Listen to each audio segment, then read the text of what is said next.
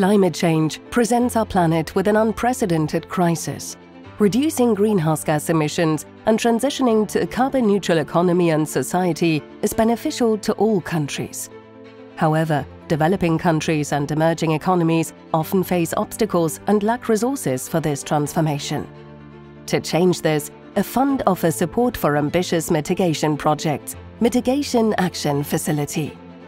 Mitigation Action Facility runs annual competitive calls for projects. As a go-to platform, it offers both technical assistance and financial mechanisms. It finances measures that shift priority sectors towards sustainable, carbon-neutral practices. This way it enables partner countries to reach climate goals like nationally determined contributions, NDCs, and long-term strategies. Mitigation Action Facility thereby works towards keeping temperature rises to below 1.5 degrees Celsius to avoid the worst impacts of climate change.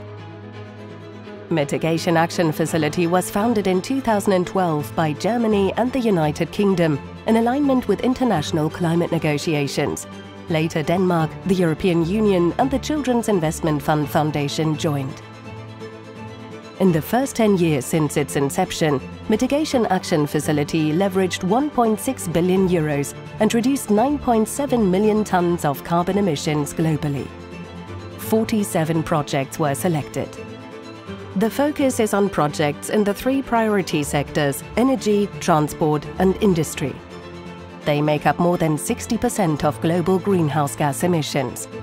Cross sectoral projects are also supported. The scope of projects is wide. In Brazil, it facilitates finance for energy-efficient industry. In Kenya, it supports the development of a market for electric small vehicles. And in Jordan, it accelerates renewable energy technology use. Mitigation Action Facility drives sectoral decarbonization to tackle climate change and help protect our planet, one project at a time. Mitigation Action Facility, driving sectoral decarbonization.